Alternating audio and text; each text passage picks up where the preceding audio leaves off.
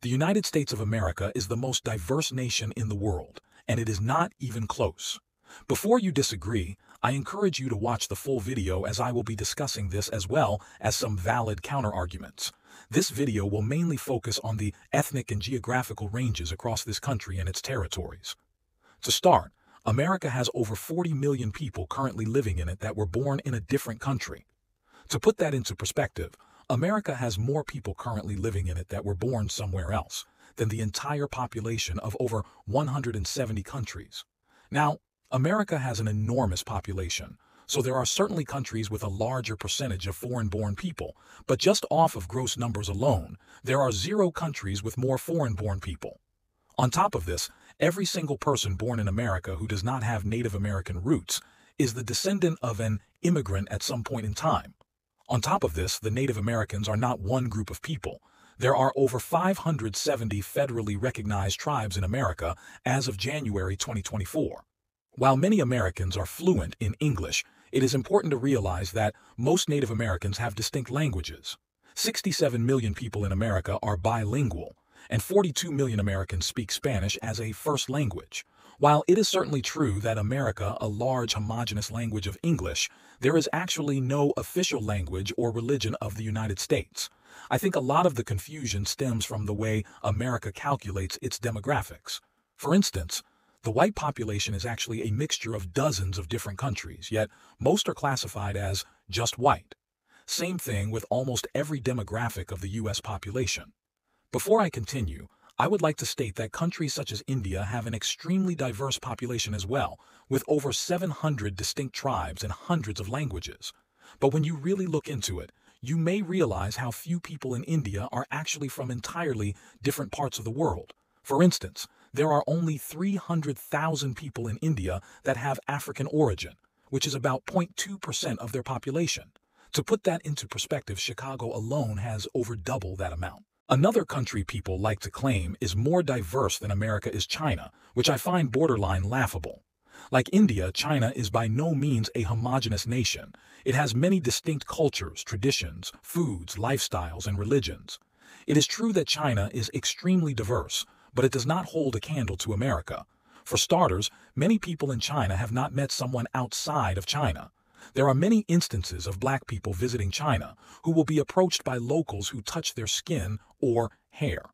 This is because there are people in China who have literally never once seen a black person. A country can be diverse among its own citizens, but how can people claim a country is diverse when many of its citizens have legitimately never seen a person with black skin?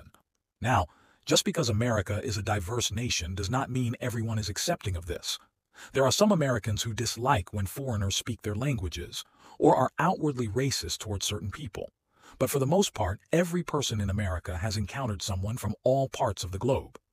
China has over a billion people, with only around 1 million of them being foreign-born, which means less than 0.1% of their population was not born in China. Just New York City alone has four times that amount of foreign-born people. Another contender for the most diverse country would be Canada, especially areas like Toronto.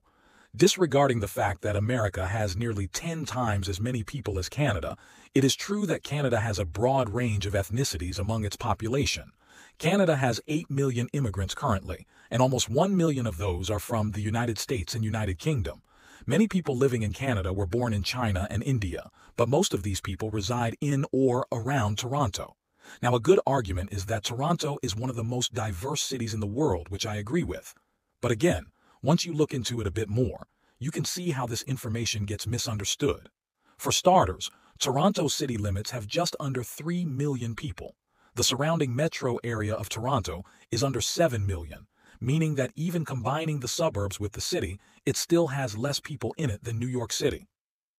While we are on the topic of New York, it is important to realize the scale of just this one city.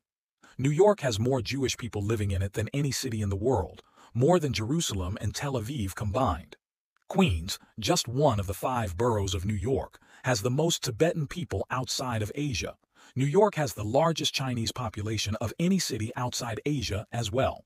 The 10 largest sources of foreign-born individuals in NYC as of 2011 were the Dominican Republic, China, Mexico, Guyana, Jamaica, Ecuador, Haiti, India, Russia, and Trinidad and Tobago. Please let me know in the comments if there are any towns in India or China with significant Haitian and Mexican enclaves. Outside of New York, the country is still extremely diverse. I can't go into the specifics of every single different group of people living in America, so I will highlight a few unique ones.